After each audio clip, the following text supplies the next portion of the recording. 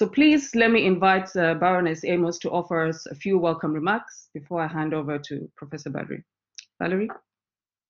Uh, we know, thank you very much. And uh, can I thank everyone who has joined uh, the session for this afternoon's discussion on the future of African and UK higher education institutions post-COVID-19. It is an absolutely apt uh, topic.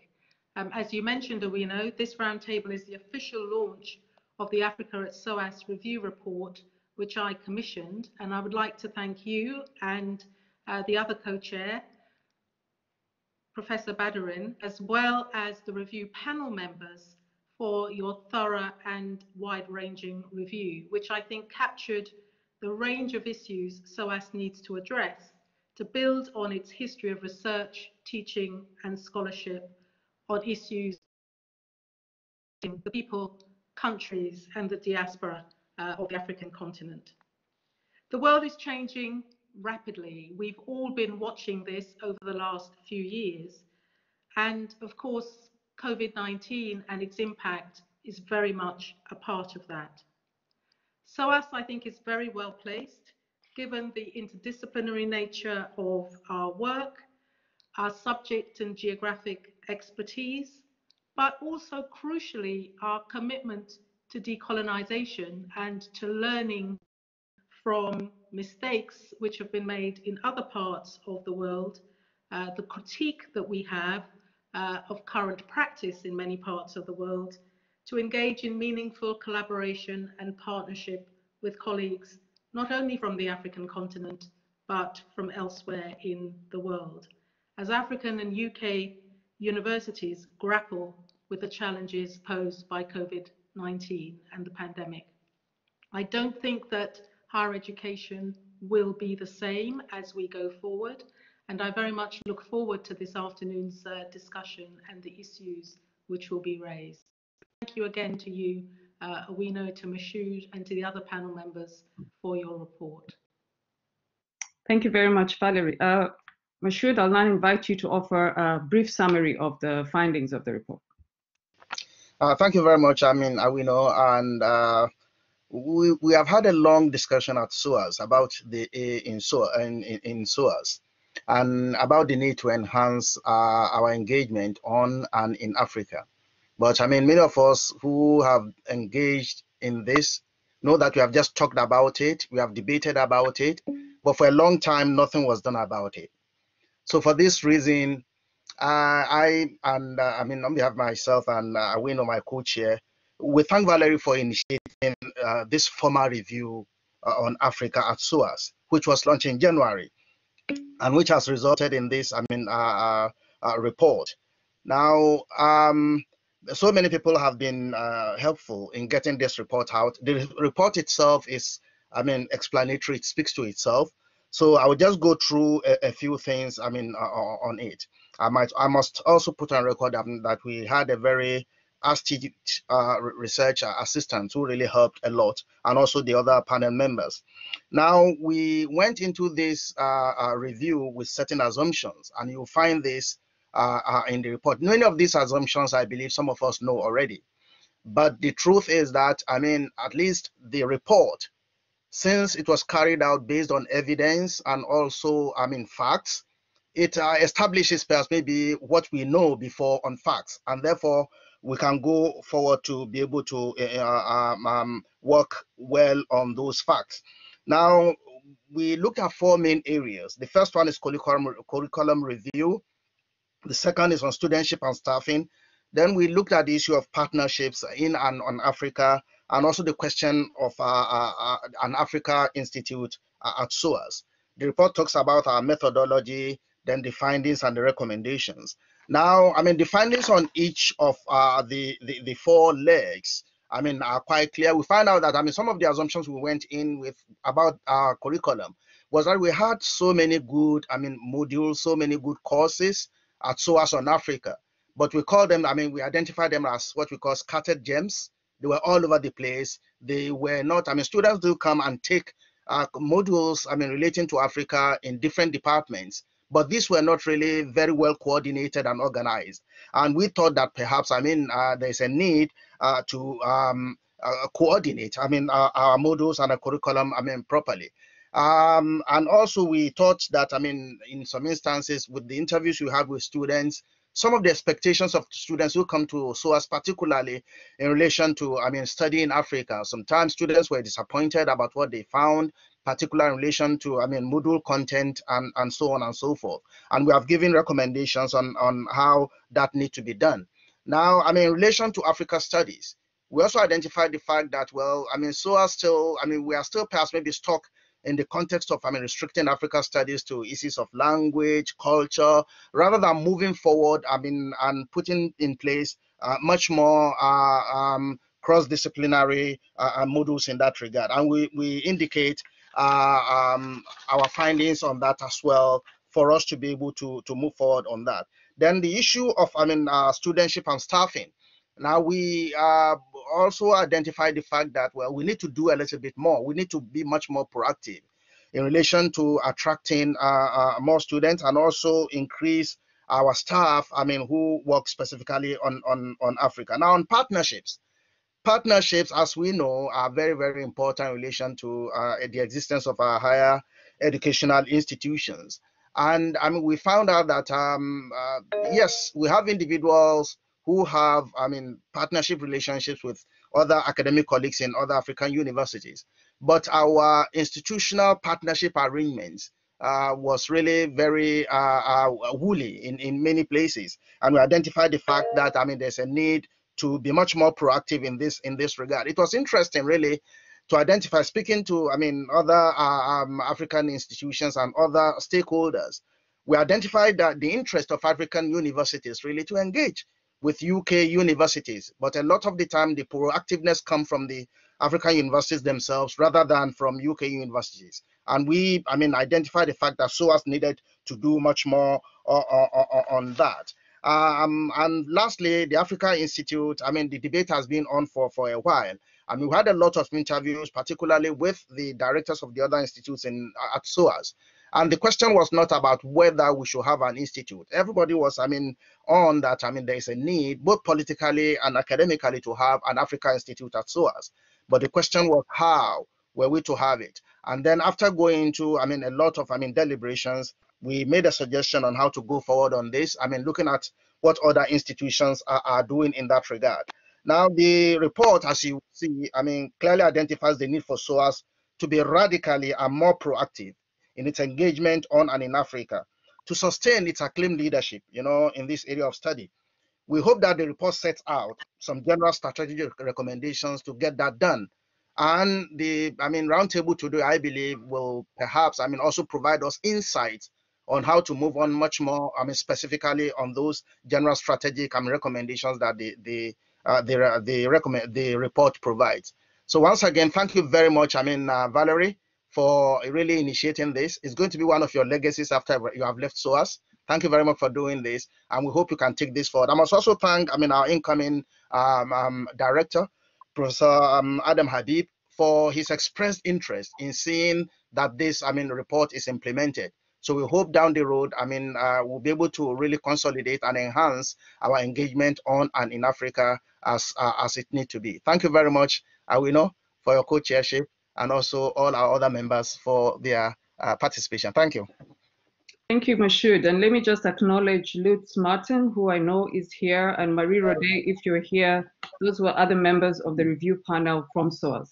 So let me start off the discussion uh, that sort of deepens one of the key findings in, the, in, in terms of the landscape analysis of the higher education uh, sector, if you will, both on the African continent, but also in the UK where we are located.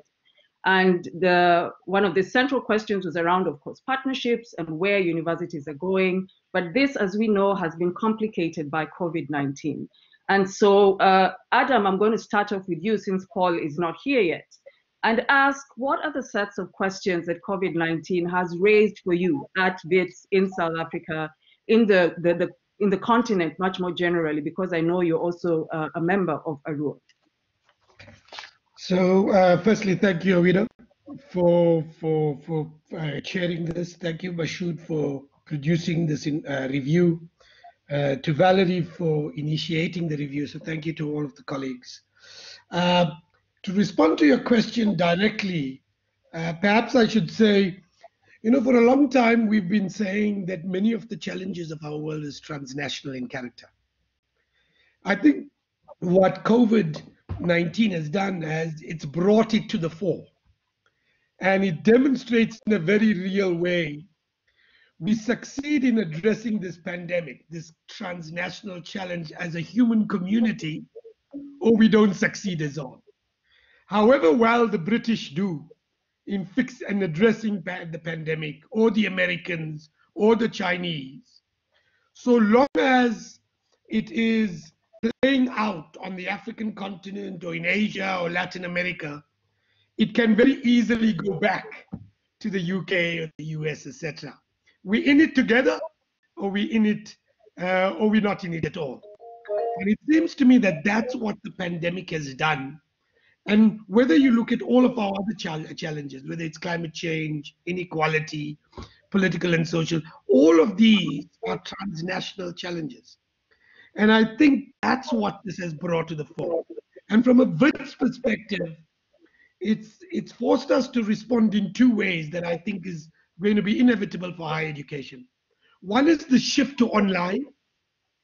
And if you're going to shift to online, you have to address in South Africa the deep inequalities in South Africa. You have to address online and mitigate the consequences for poor people going online as much as you do it for rich. And that's the first thing, how to do online in deeply unequal contexts. The second is it's put the issue of global partnerships on the table. Because effectively, if we are going to address the global challenges of our time, we do need human resource capacities across the world, and we need institutional capacities across the world. And frankly, to be honest, our global partnerships for the last 30 years has been directed at individuals. It's about taking talented people and moving them to London and New York and Beijing and giving them a good education. But we lose many of them and we weaken the institution on the continent. And it seems to me what this pandemic does and what this review report puts on the table very firmly is that we need to reimagine global partnerships in an institutional sense, not in an individual sense, because that's how we're going to address the global challenges of our time. I'll stop there. Thank you. Thanks, uh, Adam. Let me turn to you, Funmi. Uh, so you're sitting in the UK. Uh, we, we all know you're, uh, you're in an institution that's relatively uh, more financially uh, viable or, or, you know, more robust, if you will, than ours. Have you faced, would you argue that you faced the same sort of concerns that a WITS would face or a SOAS would face in terms of responding to COVID-19? And what would that be? a very, very profound question. If we think about the impact of COVID uh, from the perspective of UK institutions, I have to say, first and foremost, uh, robust, one can say, but what is our, uh, you know, financial viability in the age of COVID? I don't think that many institutions in the UK, apart from Oxford and Cambridge, perhaps, I can say, yes, there's financial buoyancy uh, in that way. We all face the same sort of challenges. Uh, but there are two things. I think the confluence you know, that there's a confluence of factors that, you know, I have observed when it comes to impact of COVID. Uh, the first is uh, it relates to what Adam talked about. Online education is no longer that kind of thing that you do uh, as a luxury, uh, and it brings uh, forth immediately all sorts of inequalities. Um, but I, I, think that's number one, of course, in the UK, uh, with the uh, economies of or, or, the economics of, of education, if I may say so, almost every one of us in London and in the Russell Group is thinking about how do you do education differently and still be, you know, and reach your uh, all your clusters, all the variety, variety and the diversities of, of the of international students. That is one set of issues. But I want to come to that impact on partnerships, on academic uh, institutional partnerships uh, that Adam was talking about. As where Africa is concerned, I think we've always been elitist in our approach to, and I'm not talking about Kings, I'm talking across the board, uh, in this case, in our approach to institutional partnerships. We want to marry the best institutions in the world, and we rank those institutions in particular ways. And I don't, and I think many, many uh, places, many UK universities are, are guilty of running to South Africa very quickly. Even in South Africa, you see how all of the inequalities are laid bare.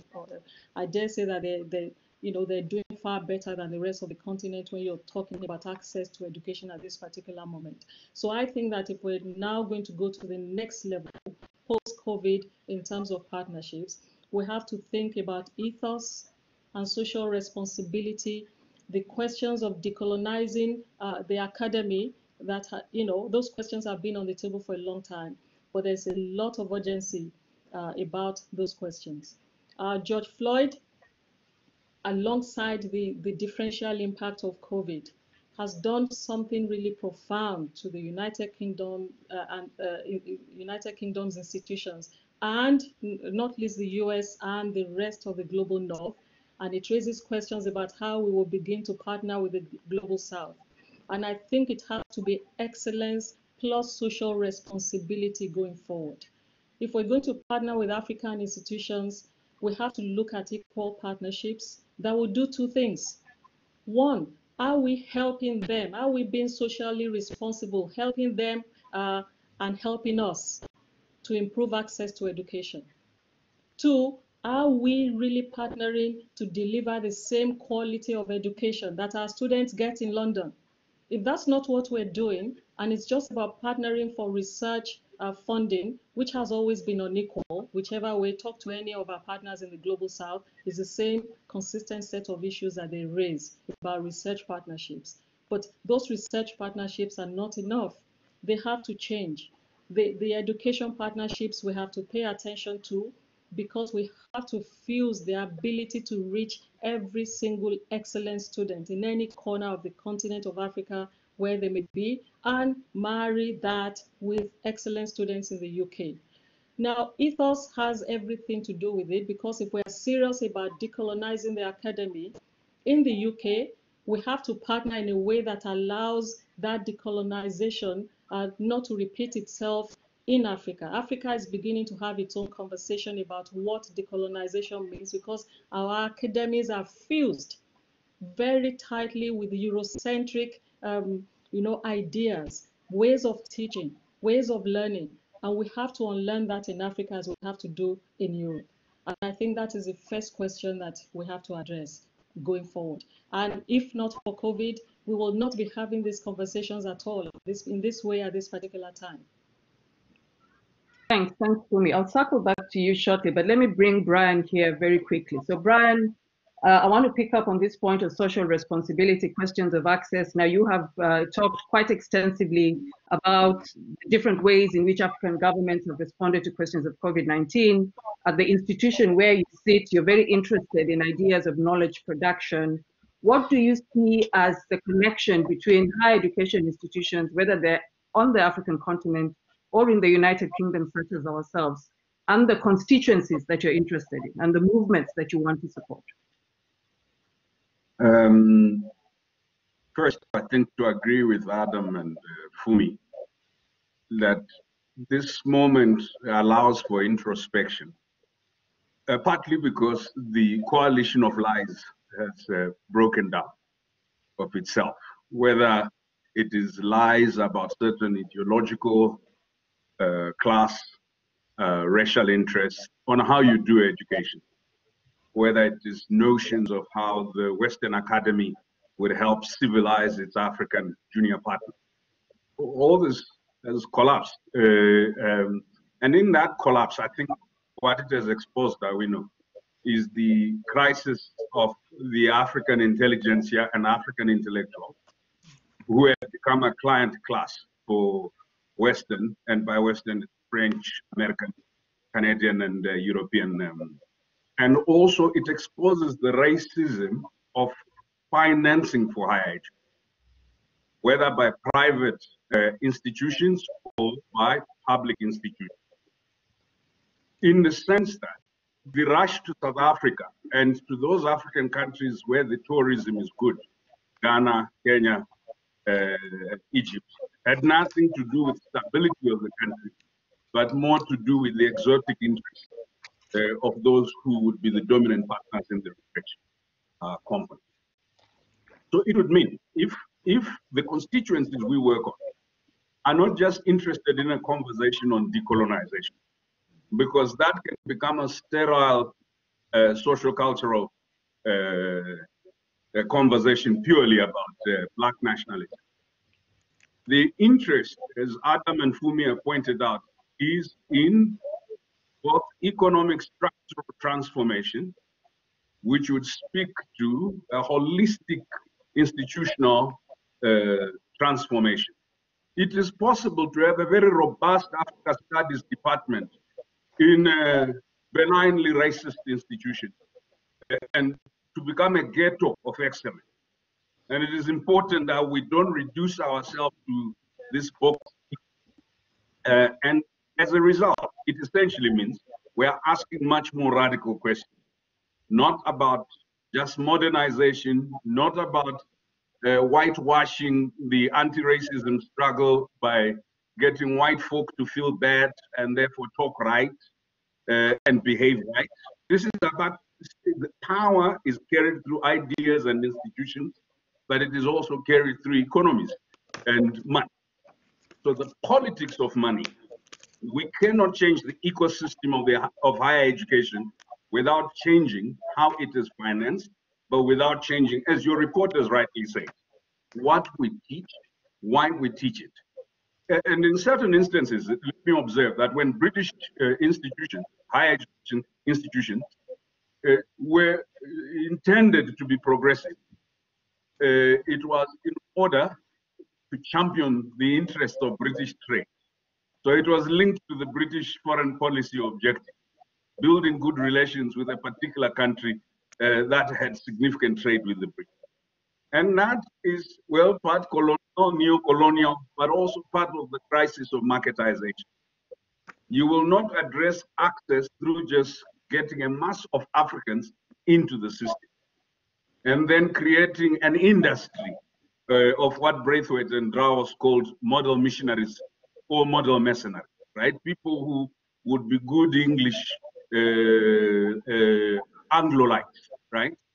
If this, if there's any radicalism to this movement, to what your report suggests, it is not the creation of a ghetto of excellence of black education or African education in the United Kingdom. It is creating an ecosystem where we enable Africans to study not just Africa, but to also study other continents and build strategies for engagement with such other continents. So the knowledge is not simply to go beyond the cultural understanding of Africa to an economic understanding of Africa through the same imperial lens, where Africa is either a problem, an investment opportunity, or a charity. So the radicalism of this conversation is in what Adam and Funmi have suggested. It's not just access in terms of the tools. It is, I don't want to participate if my idea will not frame what is being done. So because it's possible to have many black faces increase, go beyond 50%, and simply to become echoes in imperial uh, clothing.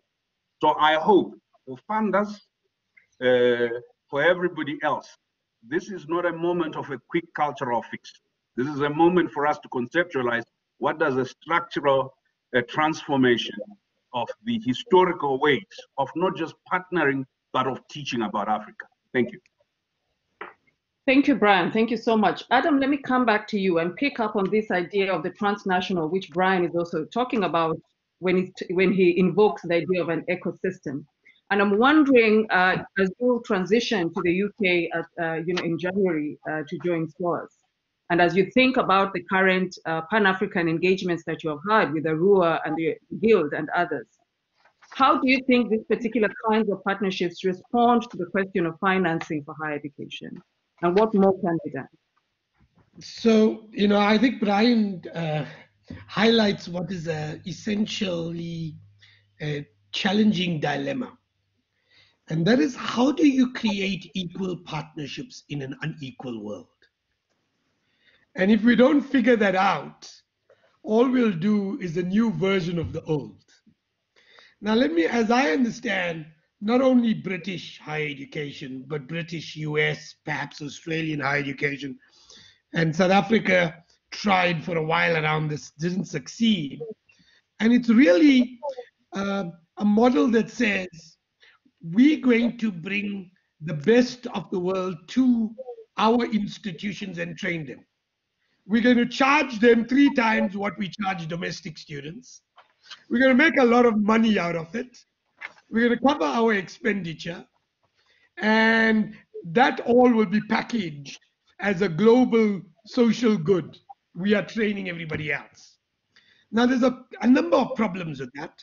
One of which is people don't go back because life happens. Two is in, uh, institutions get impoverished in the other side because actually the money is going one way. And three, uh, effectively, you teach a very sanitized version of whatever you're teaching because you teach it from the lens of a particular geographic space. And all of that is essentially compromises the education project, but it also compromises the social justice project globally. And increasingly, my argument is, and I think many people's argument, is this is not a good thing for Africa. Actually, it's a good thing for the world because if Africa continues or the developing world continues to labor the belabor these problems, actually it will sooner or later come to haunt the citizens in Europe, in the UK, in, in, in, in the United States, etc. And so the big debate for me is we've got to rethink the business model. We got to rethink the business model not only high British higher education, but also African higher education. And unless the money flows both ways, all of the talk about social good is nonsensical because it's not real, it's rhetorical. And that means we have to completely reimagine. For a place like SOAS, the idea is it's not about bringing Africans and Asians and Middle Eastern and people from Latin America to SOAS and charging them $20,000. It's actually how do we use SOAS with Ghana Legon or Makerere or Nairobi or Dar es Salaam or UCT or WITS to rethink training and on the basis of that rethink the business model so it flows both ways and is able to cover the expenditure both ways. And that's as important for as it is for kings and all of us. So that's the first big thing that I think we need to think about. And I think that ARUA is essentially about that.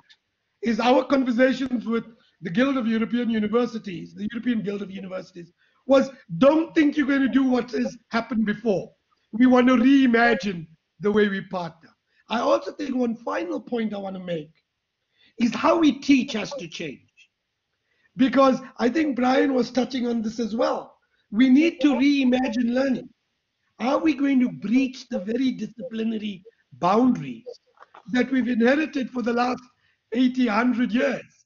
Because actually, you know, if you want to do a course on public health or how to address pandemics, you can't address it simply from the perspective of tropical medicine or, frankly, uh, public health narrowly. You have to understand the social dimensions that enable pandemics not to be addressed in the multiplicity of social contexts within which. So we need to breach the very disciplinary boundaries on how we teach, what we teach, when we teach. And that, it seems to me, is what this pandemic brings to the world. And that's the other thing that ARUA is talking about and, and, and raising in the kinds of engagements we are having with the UK and with many other parts of the world. Thank you. Thanks, Adam. Let me circle back to you, Funmi. Uh, and I want to pick up on the question of inequalities, but uh, to examine it from the UK context. I think that one of the questions that COVID-19 has raised uh, for UK universities is the need to turn their focus inward right? To think less about uh, the loss of income from international students but to be much more attentive to our students from what in, in this context are known as BME students, and, uh, and how we create institutions that allow those students to thrive. Now, without uh, revealing too much about King's strategy, what would you comment uh, in relation to this in terms of you know broad responses that you might be privy to? No, no, yeah, I, I think um, no, I have to say that a core part of King's strategy, uh, the one big factor for us is we understand we cannot do this alone. So it has to be in partnership, but for the first time in partnership with the like-minded, not just because uh, we need to be in partnership with the so-called uh, so-called world-class universities. We're beginning to find out that uh, the rank is not what matters most because you can open inside those institutions that have such, you know, uh, that can say they have such high ranks and they ring hollow in terms of values, in terms of those values uh, that allow you to solve global problems permanently, but that allow you to be culturally competent. Uh, and so, so a big thing for us at King's is that we want to choose our partners wisely. But towards what end, though? Because when you look at the recurring problem across the United Kingdom, uh, the, the, the, the, issue is a matter uh, of degree, not of substance. Which true, we opened our doors. I'm sure SOAS did, many of us in, in London in particular did, to our students from our inner, you know, London communities and so on. And I, I don't know about you, but we now have at least half of our home students who are from the BME background. So we have done that. It's not enough to say uh, we have these numbers of students in our base. It is what we do with the diversity of our campus that has now uh, become very clear. It's become a, an issue of you know dire urgency because if those students come to our campus and they do not feel a sense of belonging, they do not even feel sometimes and, and I've taken the, the temperature of this uh, across as many universities as I can uh, because I, I came into this role and I had to study my own campus from below and across, and I had to study a couple of other institutions as well. We're not doing too well when uh, we uh, look at the experiences of our, of our BAME uh, students. We've brought them into a place where the decolonized uh, nature of the entity is beginning to affect their own success. We see that seep out, uh, seep through in the black attainment gap. But more importantly, we cannot even give them value for money if we cannot go and deep dig into, you know, deep into the curriculum to bring out experiences that reflect their own worlds so that we can truly have a plurality of ideas in the classroom, outside of the classroom. It's a big issue. And I think we're facing it now. Uh, we have to face it squarely for the first time. But what many of my colleagues, whether within Kings or outside of Kings, would ask us typically is that even when we look inward, we want to do something. All right, we've done this for a long time. They ask, what do we do? And I think we spend so much time as you know talking about what's wrong with the system. We will not always agree, uh, but many people now agree that yes, there's something fundamentally wrong with the system if a, a chunk of our population within and outside the university feels really um, that the outcomes for them, and we can see the outcomes, the outcomes do not look good for them. So I think it requires a partnership that does three things. One, and I know that sustainability is a very big uh, issue here, but that first aspect of the partnership is a collective agreement that are all of our subjects across disciplines. Uh, those in the natural sciences will say, how on earth can you decolonize mathematics, uh, physics, or, you know, sometimes we even say it's the English legal system. What do you want us to do about it? It is English. That's why the question of what, what we teach, but especially how we teach is important. Pedagogy is at the core of it. But even in what we teach, a little tweaking, like bringing history to the fore, history of the discipline to the fore, uh, of the program content is an important starting point. So it's not enough to say to someone. Uh, in my own uh, program, uh, I've had a couple of students ask me, this international peace and security, there are not many African women on the reading list. It, it struck me that I had to go back to the history of, of uh, security studies on the continent of Africa. When I was growing up, when I did my first degree uh, in Nigeria, uh, it was difficult to find a civilian in the first instance, even teaching this. You didn't find it on the, in the curriculum. Civilians didn't teach it, and as they would refer to them, bloody civilians at the time, nor did you find a woman uh, teaching it anywhere. So how do you expect to find literature on this that dates back 50 years? You can't. That has helped me a lot. But how you teach it, it's not enough to simply say physics is not designed in that way. Uh, you have to find what appeals culturally uh, in an environment. We know why some of our Indian students are, are some of the best uh, in the areas of, of natural and mathematical sciences. Why do they learn? How do they learn? What makes them learn the way they do? I, I think there's practical work to be done in the UK. But the second thing I'd like to really uh, put to the table is therefore, if we're going to have successful partnerships, I agree totally with Adam, you know, sitting where I sit, uh, you have to first think of the financial viability of the institution. But why are we thinking about the financial viability of our institution and we're not thinking about the financial viability of the people we're partnering with? So I understand, you know, profoundly that we need to bring the best of Africa and the best of the UK together in terms of academic institutions. And actually, we have different things of value that we can exchange for that. And the online space actually makes it makes this the best time to do that. For the first time, I can have a dual degree, um, which you know half of is online because my people in Africa might not be able to come here for a full year and afford to live in London. And yet I have people here who might want to go and do that other half in Africa if they like.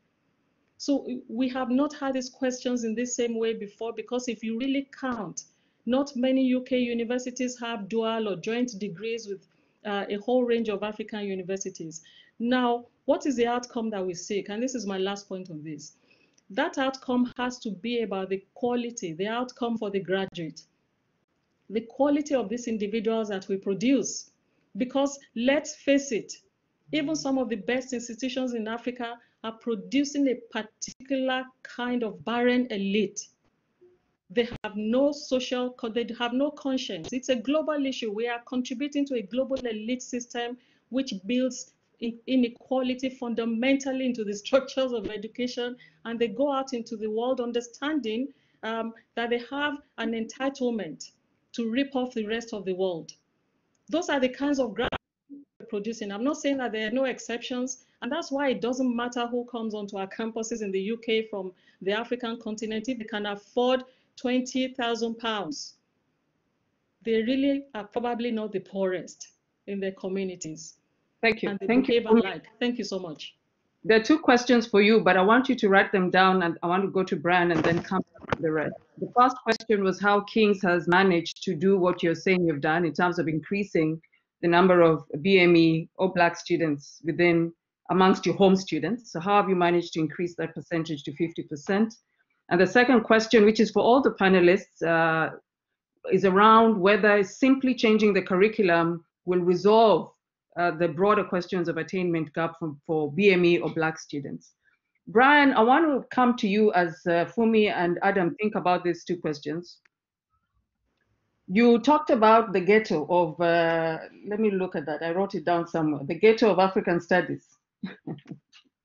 um, and I want to ask, to ask you that if you were to offer us a proposal, so for instance, one of the things that our report talks to is uh, creating an Africa Institute. Now, Habib, in our discussions with him, raised questions around this as well. So I'm certain that when you talked about the ghetto, uh, he was uh, a little happy.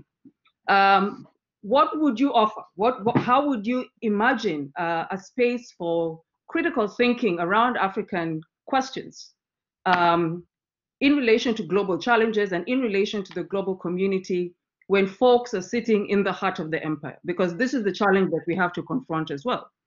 Uh, we have people traveling to our institutions who say they want to understand the continent. They say they want to understand contemporary issues. How do you frame that without losing the essence of what we want to talk about?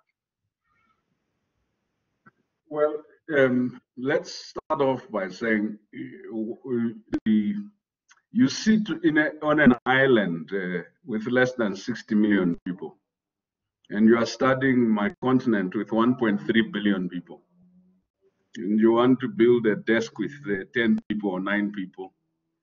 Uh, and uh, those people are supposed to study everything from our science to uh, uh, our economies, right? And I'm not saying that quantity uh, is what matters. For me, the, your, the island you are sitting on has no real basis of existence without my continent and uh, uh, India and Asia. So in essence, uh, my sense is it is not uh, just an Africa Studies Center. Everything that informs your being, now that we have uh, defrocked the pretense of empire, right? Uh, and uh, how in, in, a very uh, vile racist way it went about destroying African civilizations. I think that if you want to turn, invert the order of study, you would have to deal with two things.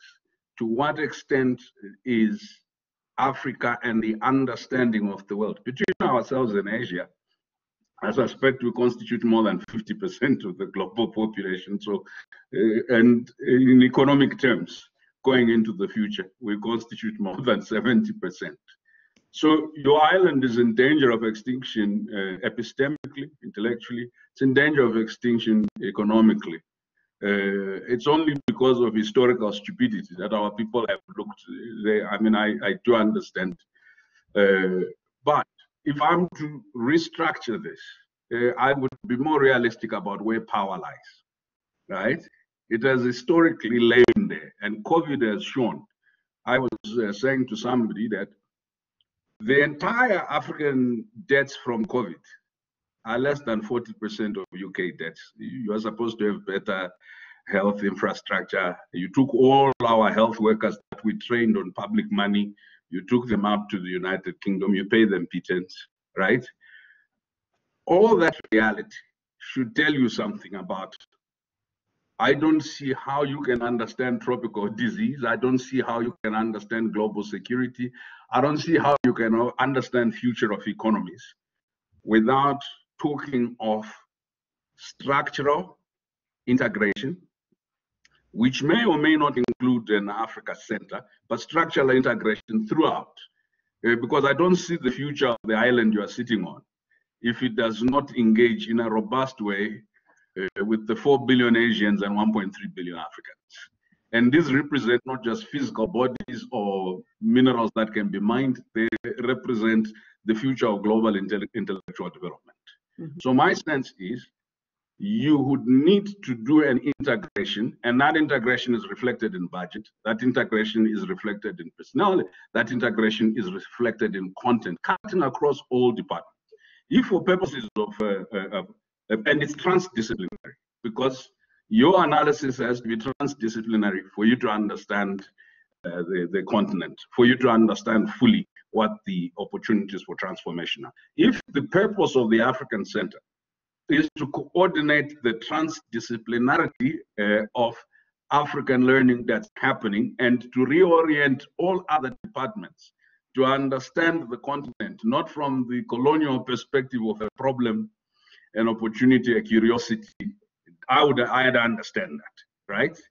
Uh, and and so I would think, and part of the problem of Africa's ghettoization and study, that if it makes no sense for British investments and other related, uh, you will not have public investment. If you don't have some British international charity do-gooder who's interested, in picking up poor kids and poverty pornography where kids have flies on their face will not get any funding, right? And so if we're going into the future where Africa is seen as a solution giver, as a knowledge giver, I'd say integration is the one approach, right? I, am worried about assimilation. So, you know, when I talked about a ghetto, is that um, racism by its nature has been very adaptable. Adam will tell you that when South African uh, whites did not want to deal with South African blacks, they reached out to the rest of the neighboring countries and brought them. And this had nothing to do with their respect for the blacks from neighboring countries. It had something to do with their refusal to address the structural questions around equality, around inclusion, around diversity. You can't do diversity purely by uh, recognition. Otherwise, it would be as pejorative and rude as going to a racist and they say to you, I have a black friend. Or going to a sexist and they say, I have a mother. I think the fundamental question we're facing here is Africa must be given its place, not as an act of charity, not simply because George Floyd died.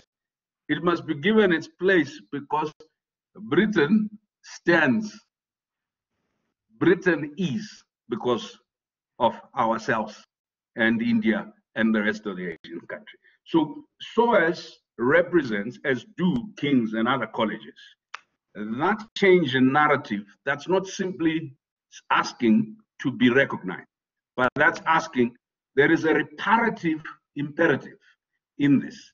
If we talk about this in apologetic terms, we will end up with this vile sense that says if the British taxpayer cannot under, cannot afford it, we can't do it.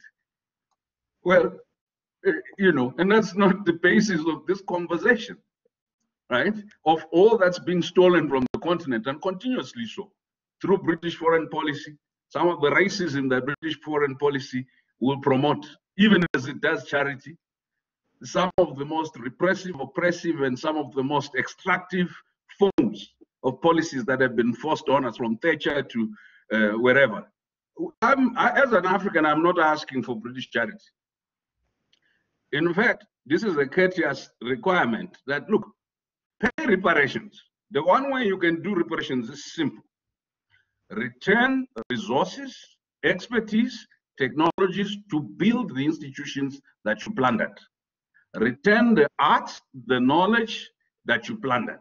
If you don't follow it on a reparative uh, imperative, what will happen now, you know, is your generation will get an African center, right? And you'll get some budget. And you run for five years. Adam will have come, you run for five, six years. Afterwards, the cost question will come because it was not a structural change, it was not an attitudinal change, it was not even an ideological shift. What it was is the shame of one caught with their hand in the cookie jar. People have just have been discovered that for his, for many years you've sustained a racist facade. So in order to purge our conscience of any responsibility without transformation, we will allow the natives to set up a native center. you will also have given us uh, some money, Brian, for that native center. But having said that, um, I want to add two more questions to Adam and uh, Funmi. One is around your views on joint or dual PhD schemes and what opportunities those offer. And another is a question around um, connections to diasporan communities that links back to the point you made, Funmi, about the nature of education, um, the kind of education that is still, you know, uh, existing in, in many of our universities, including including those where I studied myself in Africa. Let me start with Adam. No, actually, let me start with Funmi and then come back to Adam because we will close after that. Uh, Funmi? Thank you. Thank, thanks, Awino. Let me uh, just very quickly talk about the first question that you asked. Why, how come we ended up with more than 50% of uh, our home students uh, coming from, I mean, uh, coming from BME communities? There's a history to it, and I won't tell that history, but just allude to it. 2001 was the time that King's uh, through the extended the, the extended medical degree uh, program uh, brought in students from across the UK uh, from minority groups. Many of them were the first to come to to go to universities and their families by by having a six-year program instead of a five-year program. So you spend the first year just trying to help them, bring them to the level, accepting the structural factors uh, have created these kinds of inequalities where they will never really come onto our campuses if we don't do something about it. And therefore, they spend six years instead of five. Of course, for so-called world-class universities, this lowers your tariff. And you know that. So you're going to have to bear some brunt of it. And so on and so forth.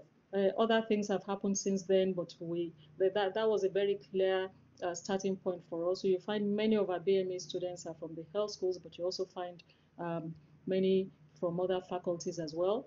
Uh, there's some faculties where you're not going to find many of them. Arts and humanities being an example. There, there are quite a few, but I'm talking about in large numbers. So, so I'll leave that aside. But when you talk about African dual degree, I, I want to talk about dual degree and not degree. Uh, it's not just a matter of semantics. There is a difference between both of them. On joint degree programs, the quality question, the fact that you're providing exactly the same degree uh, to that student, albeit with two, um, uh, if you like, with two brands on it. That is always so difficult to come by. It's probably easier for joint PhDs, but you're not going to get very large numbers on the basis on, on the current business model. But dual degrees, I almost say as an imperative. Um, we have that with a, a, several European universities where they spend half the time with us at King's uh, on a master's program, on a two-year master's. We run a one-year master's like yourselves. Uh, they can spend a year at King's. Now you can do it online is what I'm trying to say. It's not very uh, popular, but you can do it online if you're trying to ensure this access and this equality that we're talking about.